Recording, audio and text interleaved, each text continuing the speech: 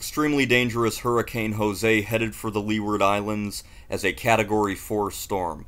I'm Mike Nasa with the latest on our Hurricane Jose approaching the same areas devastated by Irma just days ago. Now, there's the uh, view where you could see Jose looking very intense, a little stronger actually than uh, they thought when the Air Force flew in there this morning. 150 mile per hour winds, almost as strong as Irma. We're not going to focus on Irma. This update's exclusively for Jose, although obviously Irma is uh, very noticeable on this satellite imagery. Now, here's the latest track as of uh, 11 a.m. on Hurricane Jose. I do have an update as of 2 p.m. Eastern Time. Hurricane Jose was at 16.4 north, 57.7 west, and that's 380 miles east southeast of the Leeward Islands. Maximum sustained winds still uh, 150 miles per hour with higher gusts into the 180 range moving west northwest at 18, 940 millibars. So the pressure's still falling. This isn't too far from category 5 intensity. You can see the National Hurricane Center predicts that it's going to move very close and near Barbuda, which is under a hurricane watch. These are all going to be changed to warnings, I'm sure, with the expectation of hurricane winds. St. Martin, St. Barthélemy, Barbuda, and Antigua, the same areas just ravaged by our Category 5 Irma the other day, are now in the line of fire from our Category 4 Jose just days later. This happens, it's rare, but it has happened before, and, uh, you know, it's just unfortunate when this stuff happens. Of course, as Jose pulls to the north, it's going to slow down. Whether or not it gets pushed out to sea or if it gets caught in weak steering currents and loops around out here, we won't know until the middle part of next week. Regardless, in the short term, it's going to cause uh, concerns, high swells, gusty winds, and impacts to already devastated portions of the Caribbean Sea.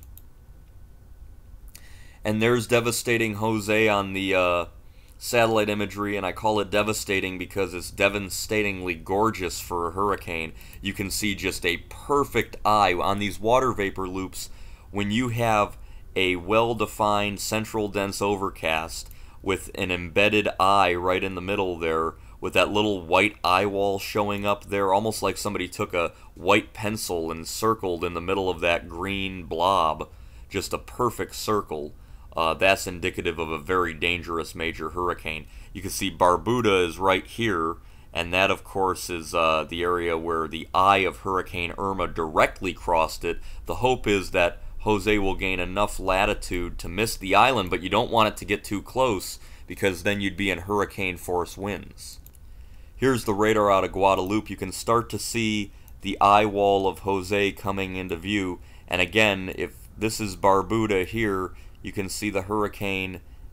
We're hoping that it's going to remain just off to its north and east, but it's too close and too strong uh, to mess around with. So anybody in Barbuda, or if you have friends or family uh, in Barbuda trying to recover uh, after the devastation wrought by Hurricane uh, Irma, let them know that we have a hurricane almost as powerful, smaller, but almost as powerful, uh, that's going to get dangerously close.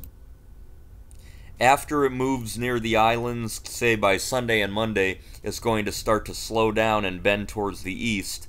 But whether or not it continues all the way out to sea, or if it mills around here for a few days in weak steering currents, that remains to be seen. We'll watch it very carefully, obviously, as uh, the tropics continue to be active. But right now, if you are in Barbuda, Antigua, St. Martin, St. Barthélemy, you guys are under the hurricane watch that will likely be changed to a warning as uh, this wind field gets pretty close to the islands. Right now, Hurricane Jose, another extremely dangerous Category 4 hurricane. We'll have more on Jose later as we continue to watch the tropics. I'll see you guys next time.